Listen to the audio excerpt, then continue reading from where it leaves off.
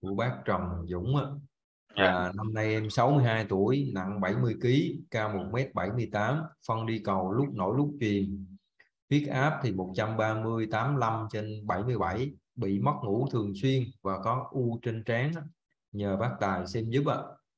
Rồi, cũng vậy cũng vậy. Một cái gốc sáng cái gốc sửa gốc trước đi thay đổi thức ăn để thay đổi cái này. Muốn cái thay đổi thức gốc này để chi? Để 7 năm cái cơ thể chúng ta hoàn toàn thay đổi. Thay đổi cái gốc này để 7 năm cái hoàn toàn cơ thể chúng ta thay đổi thay đổi cái gốc này trong 7 năm.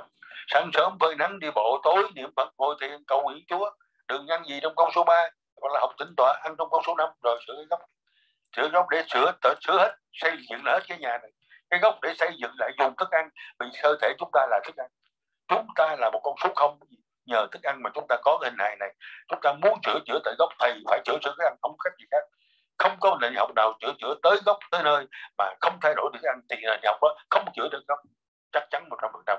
Mà theo hiện tại bây giờ tôi chỉ biết ở trên thế gian này chỉ có thực dưỡng mà thay đổi được gốc thôi. Tức là thay đổi thức ăn hoàn toàn. Thay đổi hết hoàn toàn. À, gì thấy không? Thay đổi hết hoàn toàn.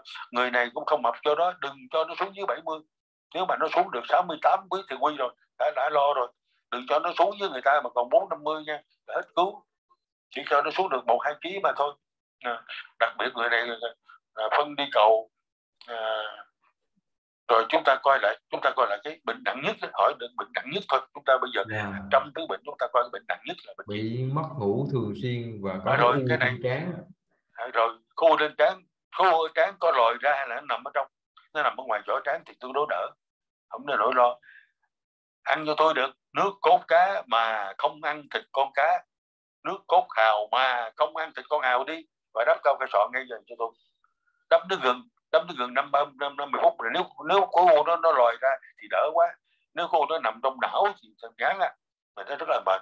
Bởi vì nếu chúng ta đắp cao cái sọ trường hợp đó thì cái đầu nó lạnh ngắt. Nó thiếu máu não. Nếu chúng ta đắp cao cái sọ khi mà nó nằm sâu trong ốc, người này có một người nằm sâu trong ốc hết cho việc bữa nay đi Đài Loan, cưới vợ rồi người này là ông đó là hồi đó ở Đức về, rồi bị khô ở trong não, trong thân não. Mà may ông này là bác sĩ lại à, bác sĩ không dám mổ vì nó nằm ở thân não, thuốc bên trong mổ là sợ chết. Mổ là sợ bị bị chạm ảnh hưởng. Ăn ăn thực dưỡng hết trơn quý vị. Ăn dưỡng hết trơn, đi đi đi Đài Loan cưới vợ rồi. Qua Đài Loan ở luôn rồi gì. Khó hết sức. Thành ra nếu nó nằm ở ngoài, chúng ta đắp cao cái sọ đi. Áp nước gừng chừng năm, ba phút đắp cao cái sọ. Thì đây nè nếu đầu cái cao cái sọ mà nó nằm ở cố u nằm bên đầu thì chỉ đắp được cao cái sọ trong vòng một hai tiếng. Thấy mà rờ chỗ này là thấy nó ở trong cái đó là nhắc á. Nó là nhắc thì thôi là bơm bỏ cho dùng thuốc dùng thuốc chứ không được đắp 4 tiếng như là những cái bộ phận khác. Ở trong câu 27 mươi gì? Nhớ trên đầu không được đắp lâu nó loạn máu nó loạn máu nó thiếu máu não. Đấy rồi sợ là là là là là là, là, là mệt đấy. Thiếu máu não là nguy đấy cho nó đắp chừng một tiếng hai tiếng gỡ ra gỡ ra một hai tiếng đắp nữa chứ là đắp xen kẽ đắp cứ, cứ từ tiếng từ tiếng từ tiếng vậy đó đắp hoài cho tôi thì nó tan. Rồi đừng ăn gì trong câu số 3, câu số 5 uống nước cốt cái là nó tan đừng, đừng. tại sao nó tan? Tôi nói rồi không nói lại tại sao nó tan? Không phải là ăn gạo lứt mà nó tan được khối u cũng không phải ăn thực dưỡng mà nó tan được khối u không phải.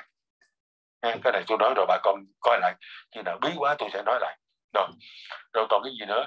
Ngoài mất ngủ thì tôi nói với anh câu hầu dễ rồi tối ngâm chân nước gừng và muối. Tối ngâm chân ban ngày lao động ban ngày phải chịu khó lao động. Không được ngồi không chịu có mệt. Đi lên đi xuống quét nhà quét cửa giặt đồ nhẹ nhẹ làm cái gì đó. Hay đi bộ gì đó chúc chúc chúc chúc rồi tối mất ngủ rồi ngâm chân nước gừng đi quý vị ngâm chân nước gừng với muối. Rồi ngâm 15 phút rồi quý vị uống cái gì đó thì hỏi công hầu tôi nó đưa thứ mười mấy thứ quý vị đủ loại hết. Bạn đơn đơn cử một cái uống một viên Nirosil một gói canh dưỡng sinh. Rồi 30 cộng 30 cộng nhụy hoa nghệ tây. 30 cộng nhụy hoa nghệ tây. Rồi, uống cho tôi thêm hai, một viên cho tới hai viên Sleep S. Sleep S, rồi hai viên Malisa. Malisa, hoặc là hai viên Sleep Well. Rồi, vậy là được rồi, quý vị, ngủ được rồi. Còn không có nữa thì ban Banmogin nha. Sau này tôi sẽ nó có mười mấy thứ gì tùy theo thứ gì chịu hay không chịu. Bữa tôi nói hết rồi. Bữa tôi nói hết rồi quý vị. Đây những cái loại mà tôi nói hết rồi nè. Đây Malisa một này. Best day hai này. Ga ba này. Sleep Well sleepwell bữa anh, anh tôi có chụp hình đưa cho anh, anh công hầu rồi đó. Đó hai viên ha từ một tăng cứ mỗi một thứ vậy bằng đầu một viên. Một viên ngủ không được thì mình tăng lên hai viên theo vậy ha. Rồi còn cái này nó có gì cái này để chống một ngày uống một viên vào buổi trưa hay là buổi sáng cũng được cái này. Đây nói ở đây cái gì đây không? Đâu có gì chụp hình đi. Mấy này tôi mới tôi, tôi chụp tôi gửi cho anh không hậu à, đó đó ha gì. Rồi ngủ được cái gì? Nhớ nhớ ngủ không được thì niệm phật ngồi thiền đừng sợ đừng sợ nó mất ngủ. Đừng sợ mất ngủ. Nó còn một thứ nữa ban bogin ban bogin của Việt Nam rất hay quý vị. Có trăm mấy một hộp thôi nếu mấy cái này không chịu bạn nguyên tiền mình thử. Mà tại sao mình phải mua nhiều thứ? Không nên bao giờ một thứ mà mình ngủ ngon rồi mình mua thứ đó chết. Cái đó là kinh nghiệm đó quý vị. Kinh nghiệm của những người mà thấy uống ngủ được rồi cứ dụ như uống cái này rồi hay là uống cái này rồi cứ uống hoài uống hoài thời gian cái rồi, rồi sao nói lời. Nó không ngủ được nó thành uống cái này rồi thời gian cái bắt đầu thay cái này thay này thời gian cái là thay cái này. Đó, và lúc nào cũng có canh dưỡng sinh là một. Rồi cái gì nữa? Ngâm chân nước gừng với nước muối đêm nào ráng chịu có ngâm chân nước gừng nước muối. Mình nấu sẵn cái ban ngày gì? Nấu trong cái nồi cơm á cho nó để cho kiếp qua nó ấm rồi cái tối mình ngâm chân. Nha chứ đừng để ngâm chân tối nấu lịch kỉnh đến kỉnh mệt lắm. Nấu để sẵn trong ngày có sẵn trong cái nồi mình đổ ra cái mình, mình ngâm chân ban đêm liền.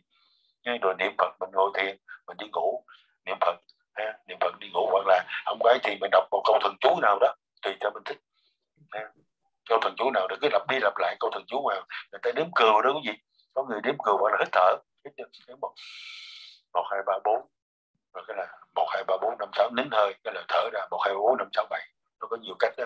tức là theo dõi một cái gì đó để tập trung tư tưởng mình, không cho mình nghĩ ra ngoài. Nó gì ha? Thì nó ngủ được. Hay gì ha? Rồi ban bogin nó gì? Ban bogin hay lắm ban bogin của Việt Nam. Ban bogin B nè, A N M O M O, G I N ban bogin mỗi lần uống từ hai tới ba viên không bốn sát bữa mới ngủ nghe. Uống buổi buổi buổi chiều, buổi trưa với buổi chiều.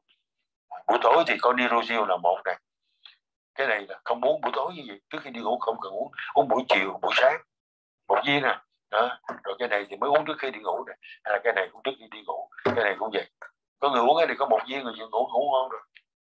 Rồi nặng hơn nữa thì chúng ta sử dụng thêm sleep S sleep S nó tính là doxylamine.